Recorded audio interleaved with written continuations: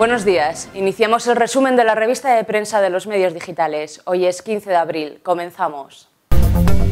Los principales medios generalistas y confidenciales recogen en sus páginas la medida del Gobierno para recortar la publicidad en las televisiones públicas. Al igual que lo hiciera el presidente de Francia, Nicolás Sarkozy, Rodríguez Zapatero anunció ayer un recorte drástico en la publicidad. Así, se prevé pasar de los 10 minutos actuales de emisión a los 3 o incluso suprimirlos. Las televisiones privadas agrupadas en UTECA piden la supresión total, ya que las públicas reciben, además de la publicidad, subvenciones por parte del Gobierno, lo que les parece una competencia desleal.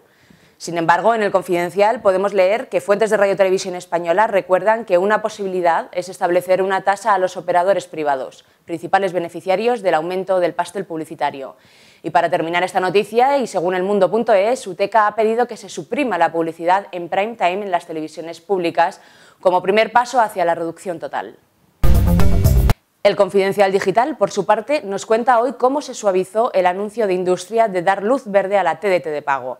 En este sentido, este digital afirma que Juan Luis Cebrián llamó personalmente por teléfono a la vicepresidenta primera, María Teresa Fernández de la Vega, y al recién nombrado ministro de Fomento, José Blanco.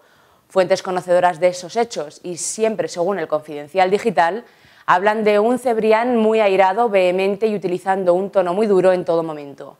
Este mismo digital también informa del caso de Los Santos y Vidal. Según contábamos ayer en PR Noticias, la dirección de la cadena COPE no tiene por el momento ninguna respuesta de Federico Jiménez Los Santos a la propuesta que se le hizo de dejarlo mañana y pasar a compartir la linterna con César Vidal. Una contestación que se esperaba para ayer martes. Sin embargo, el presentador de la mañana dejó su programa una hora antes de finalizar el mismo, ya que se encontraba César Vidal en la cadena. Según cuenta este digital, aún no está claro el futuro de este locutor, ya que la opción de radiomarca no es del todo viable por la falta de emisión nacional.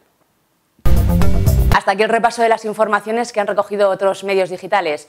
Volvemos en la edición de tarde donde les seguiremos informando.